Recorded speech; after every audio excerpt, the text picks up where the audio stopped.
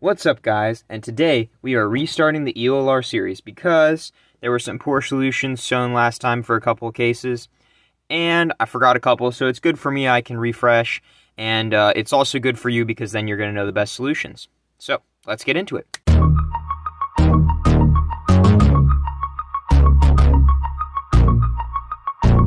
So for this EO case, there are two different ways to set up to an arrow which is the case we always go through. So we have the slicing in the same direction, like so, which is, this would be M prime U2 M prime. We're always going to be doing U2s in this case because we want to preserve that there are four bad edges. We just need to move them around a little bit. And so M prime U2 M prime. We can also do M prime U2 M, which is slicing in two different directions. So I think of those as the two, those are the two main ones. Um, all, and those are the two ones, but you can do them from the back so I guess you could say there are four if you want to. Um, and now we're going to move on to this specific case here, where we see that we have one in the one LR edge in the top layer and one in the bottom. Obviously, it can be in the back. This one could be anywhere in the top layer. Um, you're going to want to put the LR edge on the right before you start. And then you can do any uh, of those triggers and it will set up to a good arrow. I personally am a fan of just taking this and putting it in the top so an M prime U2 M in this case. However, if it was from the back, you would do an M U2 M prime, like so. And then you would have yourself a good arrow like this. And you'd put them in the bottom. Our next case, the left and right edges are adjacent in the top layer. And for this one, we can you can put them anywhere you want, but it doesn't matter because you can do any of the four not not not any of the four. Sorry, you'll have you'll have a LR edge in the middle slice, and you'll have a non LR edge in the middle slice. What you're going to want to do is take the non LR edge in the middle slice and move it to the bottom. Now there's two ways we can do that. M prime U2M works, but M U2M also works. So we have two options for this case. Uh, I'm personally a fan of M prime U2M. It just is easier to do. However, it's important to know them both uh, in case you ever need to cancel or learn EOLRB. So that's that's our objective here. And when we do that, we then have a mediocre arrow, which we can solve. It's also worth noting that when you put, put this in the bottom, the LR edge on the side is going to flip sides because of the U2. You can see the U2 moves it over there.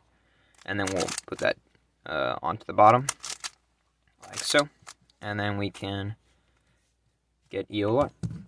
So, for our next case, we have the LR edges both opposite in the top layer instead of adjacent, like the previous case. And for this one, we're going to place them in the middle slice, like so. And then we're going to either uh, do an M prime or an M, which will solve EO. Now, the centers are misoriented, but EO is still solved.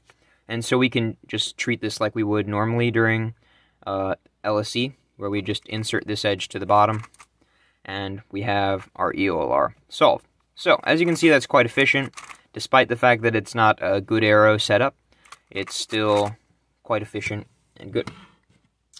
For our next case, they're opposite, but they're not on top, they're on bottom. They couldn't really be adjacent on bottom because you've got first block and second block solved. But here they are. And for this one, there is no good setups to any arrow cases. And so what we have to do is we have to uh, set up to a different EOLR case. And in this in this case, we're going to be doing uh, M prime, U prime, M prime, like that. Uh, basic, basically, it's an M in one direction, a U move in either direction, and then another M prime, but it has to be in the same direction. And then you'll get this case with the bad edges here and here, and we'll learn this later on in the series but you do you solve this with an M and then the U in the same direction. M.